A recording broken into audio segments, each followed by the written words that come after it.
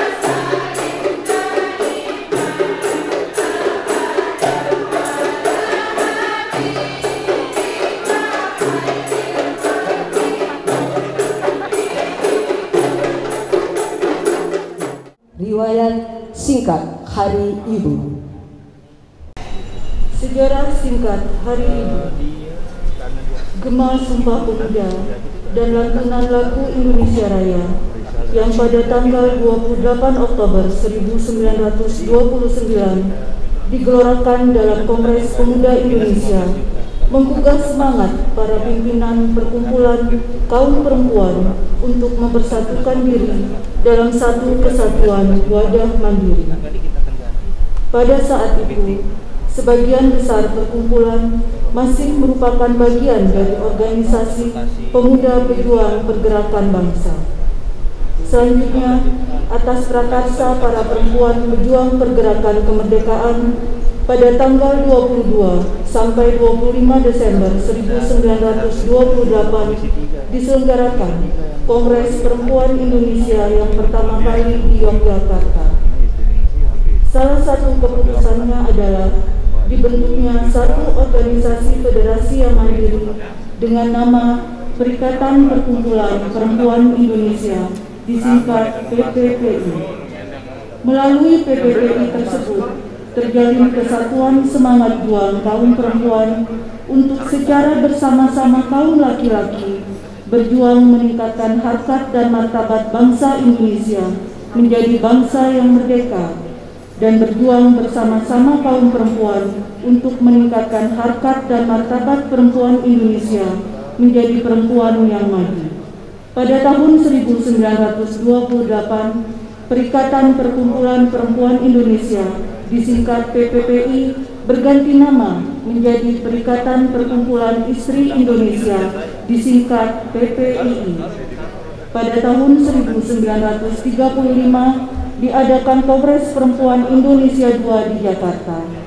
Kongres tersebut di samping berhasil membentuk Badan Kongres Perempuan Indonesia juga menetapkan fungsi utama perempuan Indonesia sebagai ibu bangsa yang berkewajiban menumbuhkan dan mendidik generasi baru-baru yang lebih menyadari dan lebih tebal rasa kebangsaannya.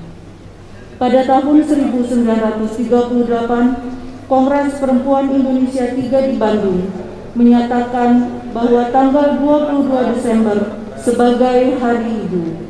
Selanjutnya, dikukuhkan oleh pemerintah dengan keputusan Presiden nomor 316 tahun 1959 tentang hari-hari nasional yang bukan hari libur tertanggal 16 Desember 1959 yang menetapkan bahwa hari Ibu tanggal 22 Desember merupakan hari nasional dan bukan hari libur tahun 1946, badan ini menjadi Kongres Wanita Indonesia disingkat KOWANI, yang sampai saat ini terus berkiprah sesuai aspirasi dan tuntutan zaman.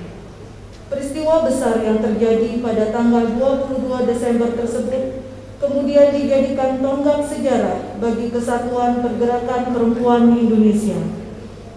Hari Ibu oleh bangsa Indonesia diperingati tidak hanya untuk menghargai jasa-jasa perempuan sebagai seorang ibu, tetapi juga jasa perempuan secara menyeluruh, baik sebagai ibu dan istri maupun sebagai warga negara, warga masyarakat, dan sebagai abdi Tuhan yang Maha Esa, serta sebagai pejuang dalam merebut, menegakkan, dan mengisi kemerdekaan dengan pembangunan nasional.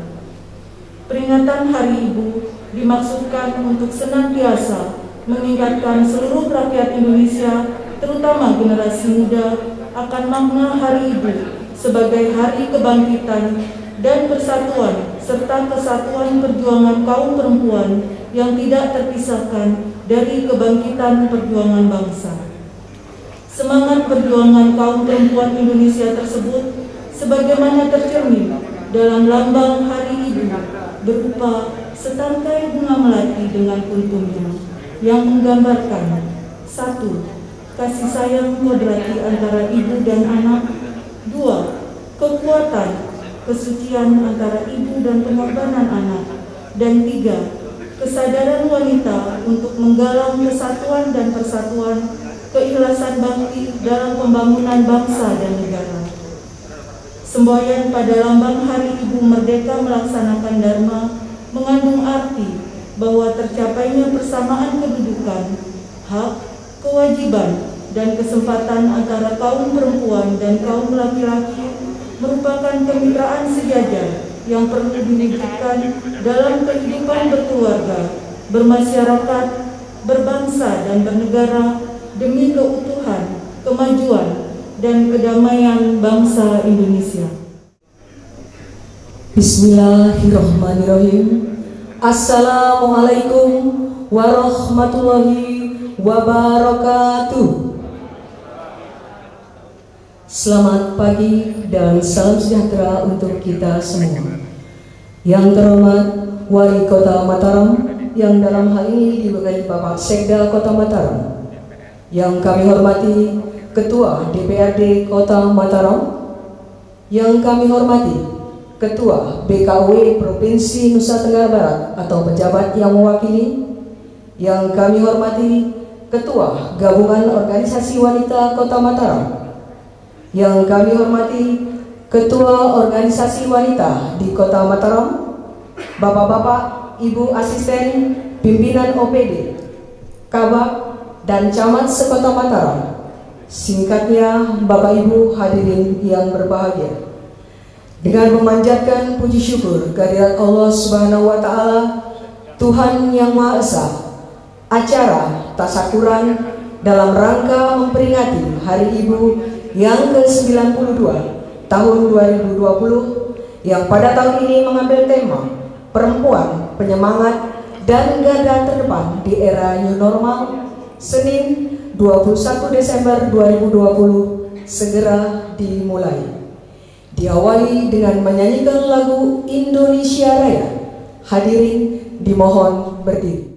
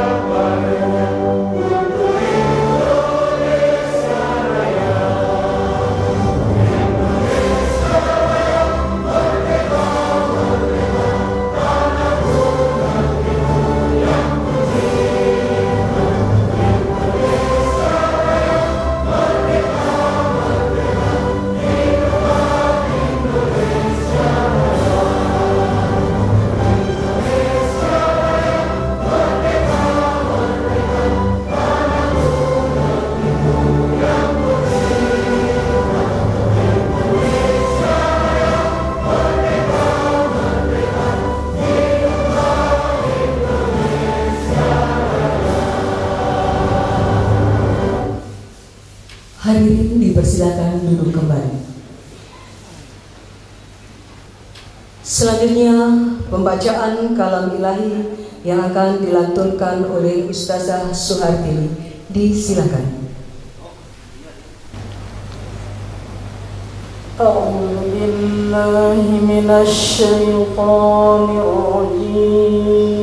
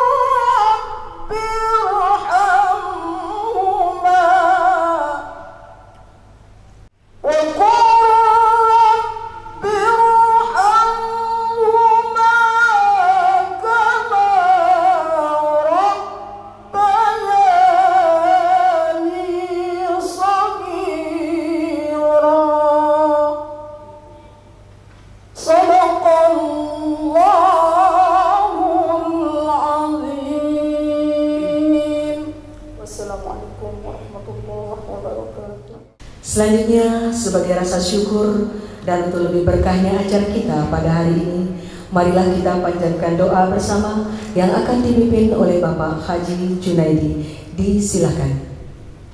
Assalamualaikum warahmatullahi wabarakatuh Selamat pagi, salam sejahtera untuk kita semua Bapak Ibu hadirin rahimakumullah Mohon izin kami memimpin doa ini menurut agama Islam Bagi saudara-saudara kami yang beragama lain agar menyelesaikan A'udzubillahi minasyaitonirrajim. Bismillahirrahmanirrahim.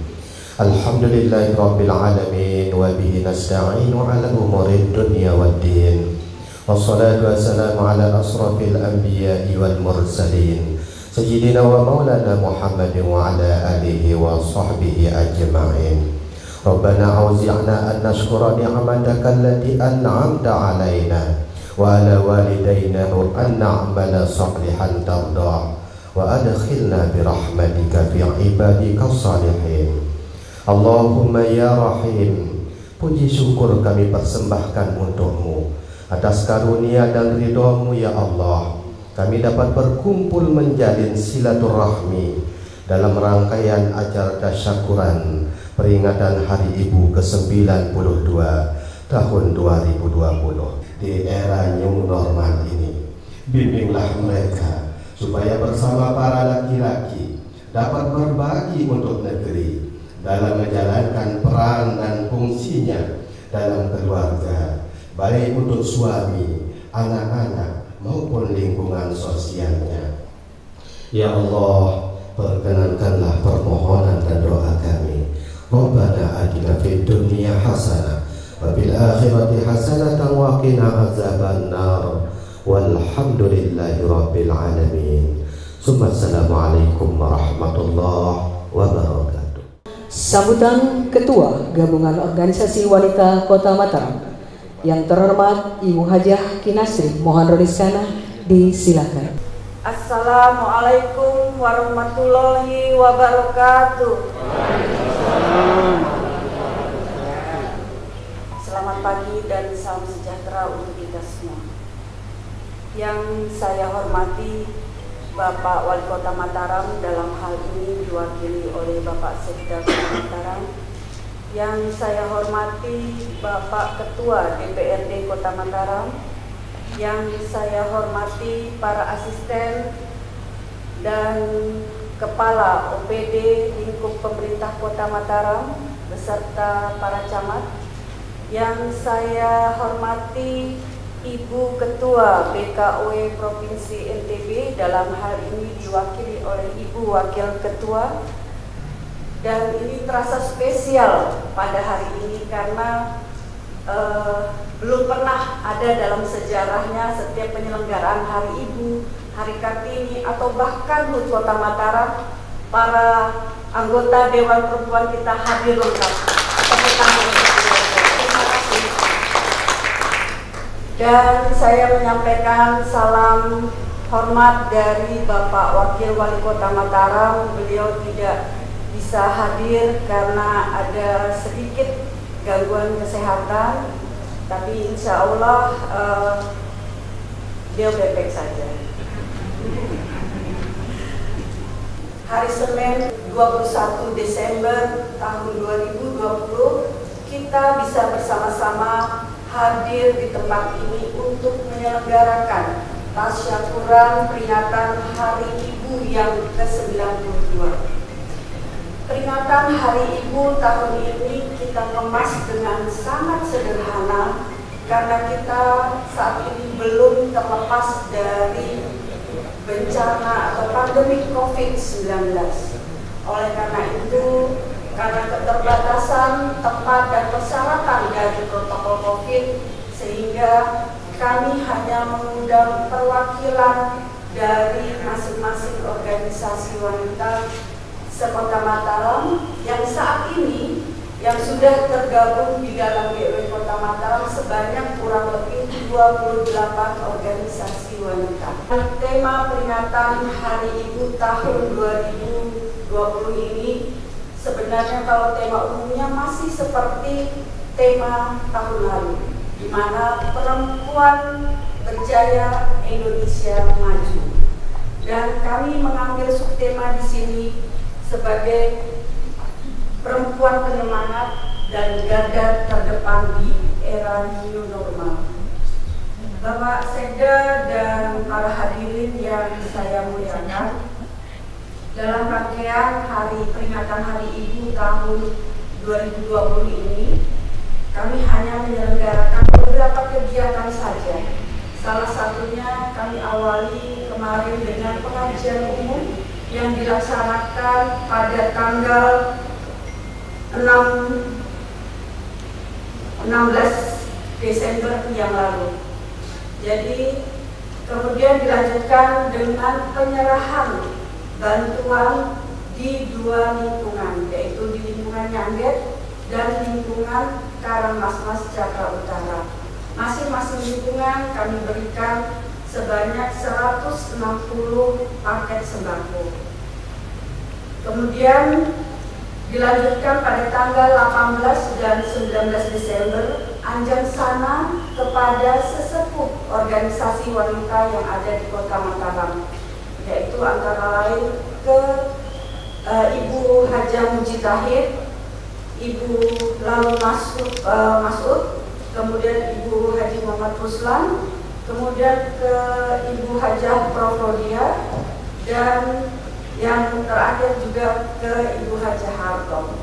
Jadi ini merupakan kegiatan rutin yang diselenggarakan oleh e, GUI Kota Mataram setiap hari Ibu dan hari Kartini.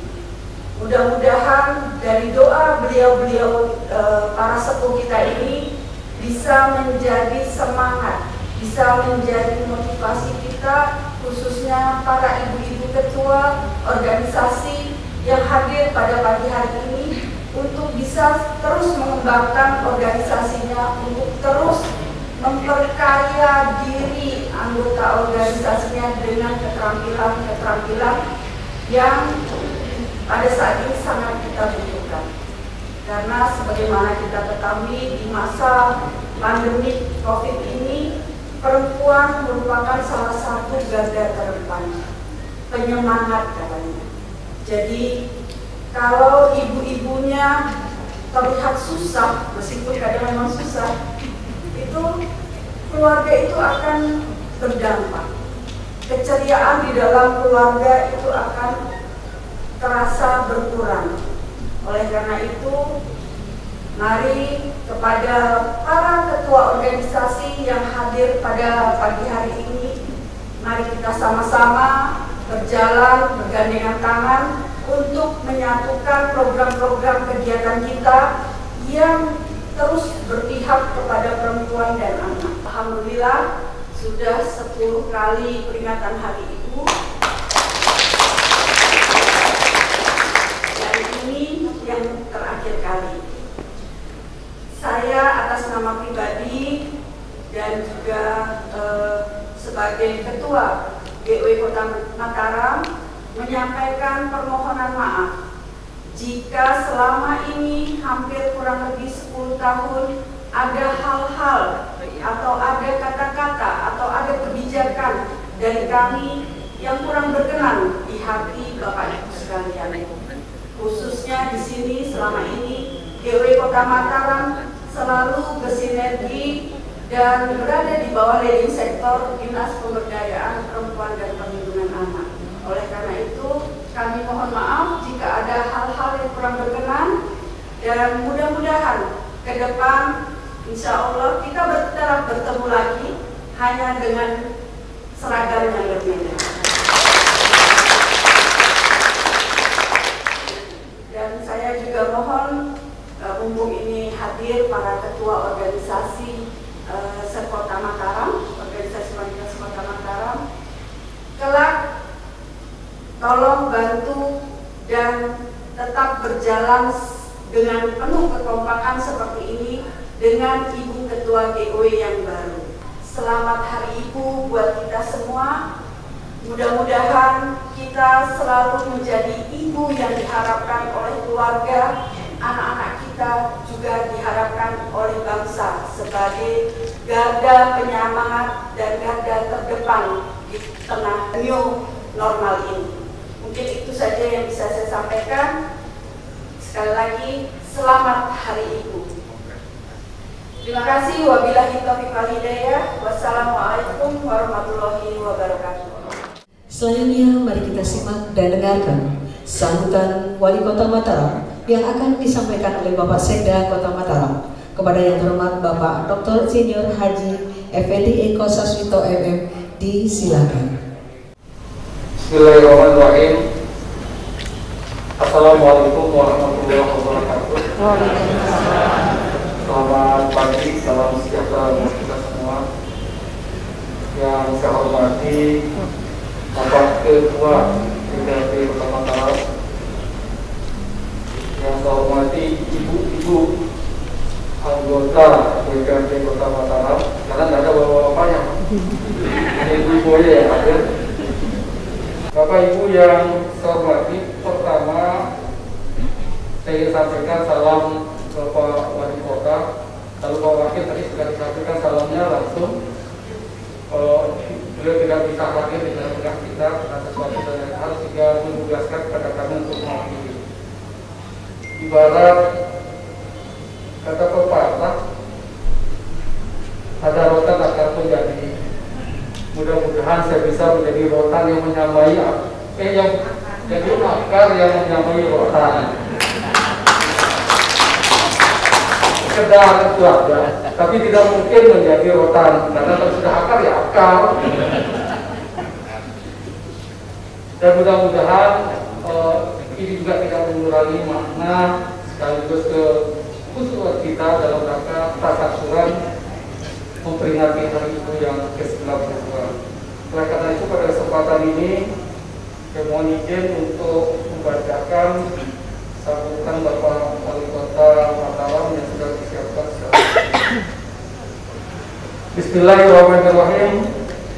Assalamualaikum warahmatullahi wabarakatuh. Selamat pagi, salam sejahtera untuk kita semua. Atas nama pribadi dan pemerintah Kota Mataram, saya menyampaikan ucapan selamat kepada seluruh perempuan, khususnya ibu-ibu di Kota Mataram. Semoga momen peringatan Hari Ibu yang ke-92 ini bisa menjadi motivasi bagi perempuan-perempuan Indonesia untuk sadar betapa berharganya dirinya. Utamanya karena tidak pernah berhenti merawat perjuangan para perempuan Indonesia sejak masa yang lalu. Dalam gerak sekecil apa pun yang memberi arti melebihi apa pun. Hal ini sejalan dengan tema Hari Ibu tahun ini, yaitu perempuan berdaya, ibu maju, yang merupakan bentuk penghargaan kepada perjuangan perempuan Indonesia dari masa ke masa dimulai dari Kongres Perempuan pertama tahun 1928 yang, mendan, yang menandai tonggak perjuangan perempuan Indonesia dalam mengambil peran di setiap gerak pembangunan Indonesia. Perempuan mengisi ruang-ruang kontribusi dalam merebut kemerdekaan, menyuarakan berbagai permasalahan, dan turut mencari serta menjadi solusi untuk mengantar Indonesia di titik sekarang. Saat ini, di saat kita menghadapi pandemi COVID-19, perempuan ditempatkan dalam situasi yang lebih rentan. Hasil survei dari UN Women menunjukkan bahwa pandemi COVID-19 telah memperparah kerentanan ekonomi perempuan dan ketidaksetaraan gender serta dapat mengancam upaya pencapaian tujuan pembangunan berkelanjutan. Alhamdulillah, kami melihat situasi yang serba sulit ini ternyata tidak menghentikan langkah perempuan-perempuan Indonesia, termasuk di kota Mataram. Untuk hadir di garda terdepan. Kurang tadi tepuk tangannya,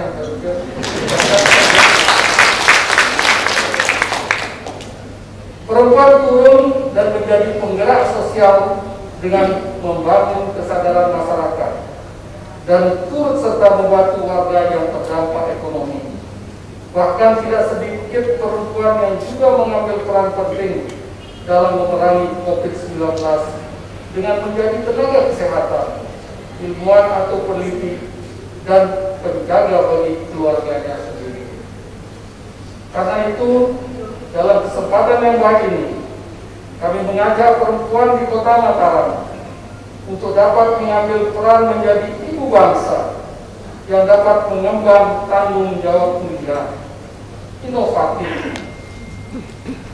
serta memiliki kepribadian bangsa nasionalisme, serta sehat jasmani dan rohani. Mari berkolaborasi dan bersinergi mengemban amanat para founding father. Mohon maaf, mother ibu bangsa untuk sebaik-baiknya menjadi ibu bangsa sejati. Hadirin yang berbahagia, demikianlah beberapa hal yang dapat saya sampaikan. Sekali lagi saya ucapkan selamat tahun ibu ke-92. Semoga Allah Subhanahu wa taala Tuhan yang Maha Esa senantiasa memberikan petunjuknya kepada kita sekalian. Bila kita wal hidayah. Wassalamualaikum Sebagai rasa syukur dan bahagia kita, khususnya gabungan organisasi wanita Kota Mataram dalam rangka peringatan Hari Ibu ke-92 tahun 2020 berkenan Ibu Ketua Gabungan Organisasi Wanita untuk memotong tumpeng.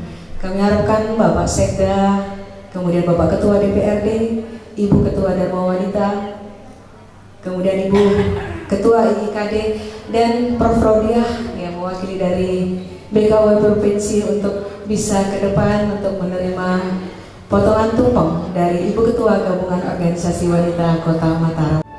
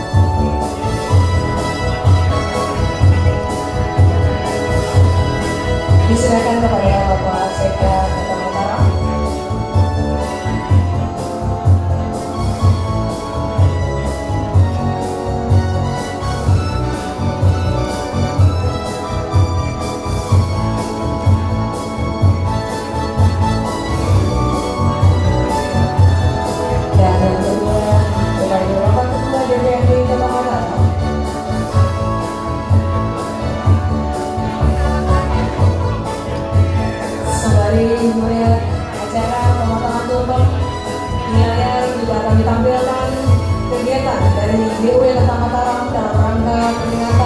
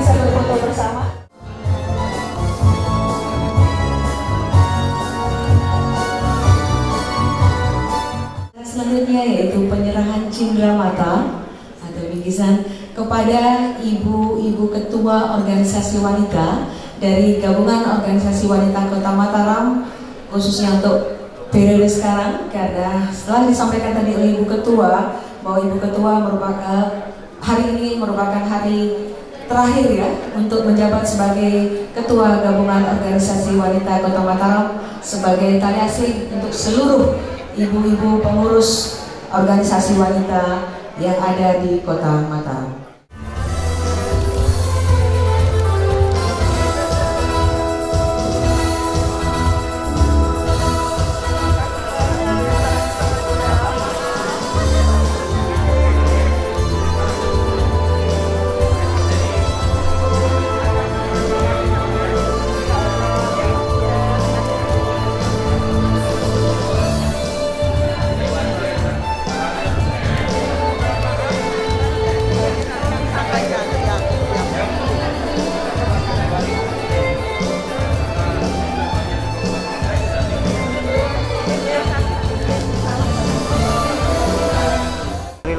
Satu dua.